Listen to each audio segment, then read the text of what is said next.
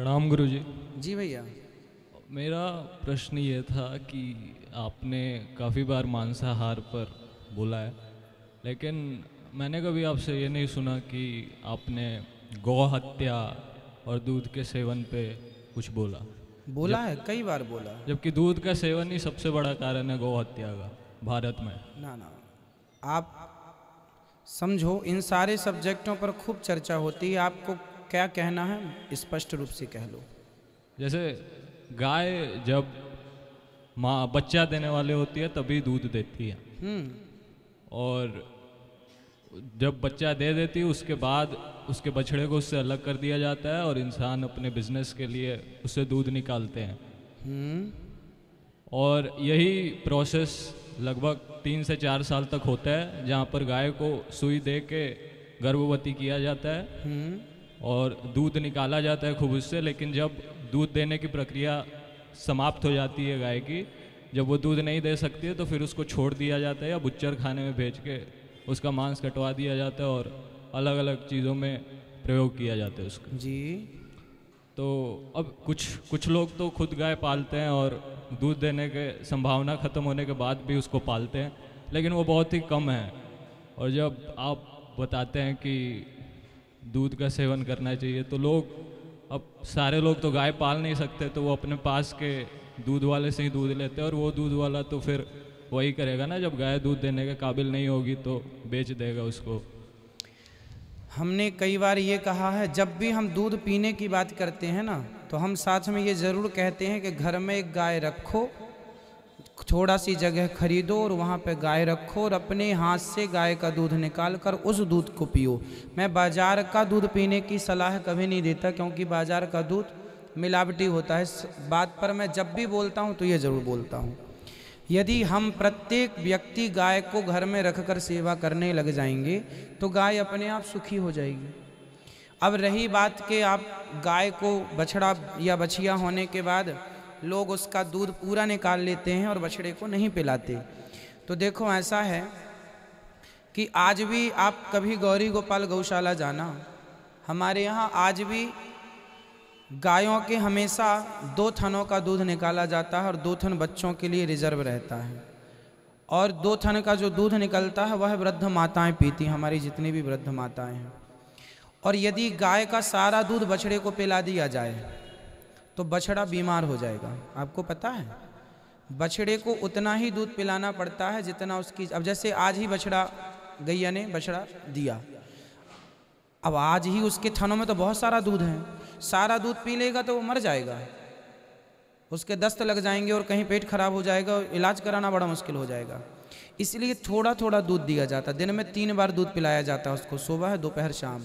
फिर जब थोड़ा बड़ा हो जाता है जब वो गाय की तेली खत्म हो जाके उसके दूध आ जाता है तो बछड़े को फिर दो थन, एक थन दूध, फिर दो थन दूध, जैसे ही बड़ा हो जाए जब पचाने की क्षमता, उसकी बढ़ती चली जाती है। फिर जब वो बड़ा हो जाता है, जब वो चारा, घास इत्यादि खाने लग जाता है, तब फिर समझदार लोग उसे एक थन पिलाते हैं और तीन थन का दूध निकालते हैं। भाई, गाय हम सबका परिवार पालती आई है, आज से नहीं, अनादि समय से। यदि गाय का दूध नहीं निकालेंगे, तब तो फिर और, चलो अभी तो लालच है कि चलो दूध मिलेगा, इसलिए आदमी गाय रखता है। यदि दूध भी नहीं निकालेगा, वो लालच खत्म हो जाएगा, तब तो आदमी और भी गौ माता नहीं रखेगा। तो चलो दूध के लालच से ही सही, पर गौ सेवा तो करो। भगवान श्री कृष्ण भी दूध पीते थे तो दूध तभी तो पिया जाएगा जब निकाला जाएगा। तो उचित निकालना चाहिए। आज ही कथा में हमने बताया कि गोपियाँ सारा दूध पी लेती, निकाल लेती थी, बछड़ों को नहीं पिलाती थी तो भगवान बछड़े खोल देते थे। बछड़ों के हक का कम से कम एक थन तो पर्याप्त तो पूरा उसको मिलना चाहिए, और जब तक छोटा है तो दो थन। जब बड़ा हो जाए, साथ में घास, भूसा खाने लग जाए, या बछिया खाने लग जाए तो आप एक थन पे उसको रख सकते हैं। बाकी आज भी हमारे जितने भी वृंदावन में गौशालाएँ हैं, लगभग गौशालाओं में गाय बछड़े को दूध पिलाया जाता है बछिया को दूध पिलाया जाता है। आप कभी गौरी गोपाल जाकर देखिए हमारी गाय और बछड़े दोनों ही तंदुरुस्त मस्त। आप जाके दर्शन कीजिएगा। और वृंदावन में गौशाला है। पूज्य श्री राजेंद्र दास जी महाराज जी उसको संभालते हैं। दस हज़ार गौवंश हैं। कितनी गाय हैं? दस हज़ार। दस हज़ार गाय हैं और दस हज़ार गाय में लगभग आठ हज़ार गाय ऐसी हैं जो दूध ही नहीं देती। बीमार हैं। मतलब जो बूचड़ खाने में जा रही थी उनको पकड़ कर लाया गया। तो आज भी ब्रज क्षेत्र में गायों की सेवा श्रेष्ठ सेवा चल रही है। कभी जाकर दर्शन कीजिए दस हज़ार गाय एक साथ हैं तभी दर्शन कीजिएगा। आचार्य जी आपने कहा कि गाय अगर बछड़ा गाय अगर दूध निकालेंगे नहीं हम लोग तो फिर दूध ज़्यादा हो जाएगा। लेकिन आचार्य जी हमने देखा है कि दूध ज़्यादा हो जाएगा मतलब? कि मतलब ज़्यादा दूध देगी और हम निकालेंगे नहीं तो फिर बैलेंस नहीं हो पाएगा। हाँ भाई गायों को दूध निकालना ज़रूरी है। नहीं निकालेंगे तो भी ठीक नहीं रहता। लेकिन अजय जी मैंने देखा है कि गाय उतना ही दूध देती है जितना उसके बछड़ा पी सके। लेकिन बछड़ा को पिलाया नहीं जाता है ऐसा नहीं है बेटा आपको जानकारी तो है पर अधूरी है। आपके घर में गाय है? हाँ गाँव में है। गाँव में है घर में नहीं है ना इसलिए आपको ज्ञान नहीं है। नहीं देखा है मैंने। नहीं देखने से क्या होता? है देखा तो आपने गरीबी भी है। गरीबी देखने से थोड़ी गरीबी फील हो सकती है। भाई, गरीबी में जीने वाला और गरीबी देखने वाला दोनों अलग अलग व्यक्ति हो सकते हैं। गाय देखी है आपने, घर में गाय रखो। हमने गाय चराई है। हमने गाय चराई है। हमने अच्छा गाय कम से कम सामान्य गाय भी यदि एक लीटर दूध देती है और जो बछड़ा उसका हुआ है तो वो पूरा का पूरा दूध उसको पिला देंगे तो बीमार पड़ जाएगा। पहले घर में गौ माता रखो। और फिर एक्सपेरिमेंट करके देखो। समाज में जो परंपराएँ चल रही हैं, गाय का दूध पीना बुरा नहीं है। सारा दूध पी लेना बुरा है। बछड़े को ना पिलाना बुरा, पर उचित पिलाओ बछड़े को। ज़्यादा पिलाएँगे, आप चलो, हम दाल चावल सब्ज़ी रोटी खाते हैं ना? तो हमारा भी मन होता, चलो गाय को भी रोटियाँ खवाएँ। गाय को रोटी खवाना चाहिए। उचित रोटी मतलब आप दो रोटी खवाओ, चार रोटी खवाओ, दस रोटी। आप यदि इतनी सारी रोटियाँ खवा देंगे तो गाय बीमार पड़ जाएगी। गाय का जो पेट है ना, वो चारा भूसा पचाने के लिए पर्याप्त उसे दाना खिलाओ। अब जैसे अपने यहाँ दाना खिलाते हैं गाय को, पर दाना खवाने की भी सीमा है कितना ही खवाना। ज़्यादा खवा देंगे, पेट फूल जाएगा गाय का। मतलब सबका पेट अलग अलग है। कौन क्या पचा सकता है कौन क्या नहीं पचा सकता। आपको अनुभव नहीं है पूरा, क्योंकि आपके, आपने देखा है। आप घर में सेवा करेंगे तो आपको ज़्यादा अनुभव होगा। ठीक है। लेकिन आचार्य जी अभी जैसे मथुरा में मैं था तो वहाँ भी मैंने देखा कि गाय को और स्पेशली मादा जो होती है उनसे तो दूध निकाल लिया जाता है लेकिन जो नर होते हैं उनको रोड पे छोड़ दिया जाता है और वो प्लास्टिक खाते रहते हैं। इसलिए छोड़ दिया जाता है क्योंकि आप जैसे लोग गाय की सेवा नहीं करते। केवल गाय की सेवा की बातें करने से कल्याण नहीं होगा। घर में गाय रखो सब लोग और गाय की सेवा करो। हम लोग सिर्फ़ बातें करते हैं।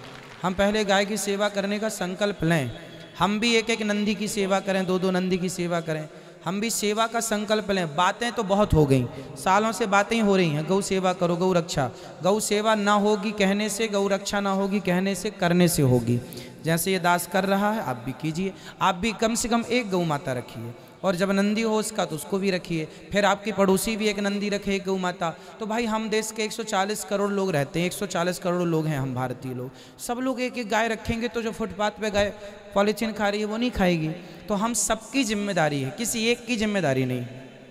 लगे आचार्य जी तो तथ्य है ना कि गाय नब्बे प्रतिशत लोग इसलिए रखते हैं क्योंकि अपने स्वार्थ के हेतु क्योंकि उनको दूध भाई स्वार्थ लाग करें सब प्रीति सुर नर मुनिजन की यह रीति तो सत्य है कि स्वार्थ है। अब बताइए आप जाके देखिएगा। जहाँ मैंने बताया स्वामी जी की गौशाला में दस हज़ार गाय हैं। आठ हज़ार गाय दूध नहीं देती। आप जाके अपनी आँखों से देखिएगा। उनका बताइए क्या स्वार्थ है? वो रखे हैं भूसा खिला रहे हैं चारा खिला रहे हैं। क्या स्वार्थ है? हर जगह हम ये नहीं कह सकते कि स्वार्थ है। अब आप आप बताइए सवाल आपसे जहाँ दस हज़ार गाय हैं आठ हज़ार गाय दूध नहीं देती अब उनको रखा गया उनकी सेवा हो रही और सेवा भी बढ़िया ऊपर पंखा लगा है गाय के नीचे गद्दा बिछा है और गाय बढ़िया समय से खा रही है और दूध नहीं दे रही है। अब बताइए स्वार्थ वाली है कि नहीं स्वार्थ वाली है? समाज में आज भी अच्छे और बुरे लोग हैं। हम बुरे लोगों से अच्छे लोगों की तुलना कर लेते हैं क्योंकि हम बुरे लोगों को देखते हैं। समाज में आज भी अच्छाई और बुराई है। अब आप किसे देखते हैं वो आप पर निर्भर करता है। आज भी बहुत सारी सेवाएँ हो रही हैं निस्वार्थ हो रही हैं। अब देखो यहाँ गौरी गोपाल जी की रसोई चल रही है। आप सब जाके भोजन करते हैं। अब बताइए आप भोजन करते हैं इसमें हमारा क्या स्वार्थ है? हम तो सेवा कर रहे हैं जो हमसे बन रहा है। ऐसे जिससे जो बन रहा है वो सेवा कर रहा है। इसलिए जो कर रहा है उसका सपोर्ट कीजिए उस पर उंगली खड़ी ना कीजिए। ठीक है। खुश रहिए। आप भी कीजिए। आप भी उंगली खड़ी करने से काम नहीं होगा, आप भी कीजिए।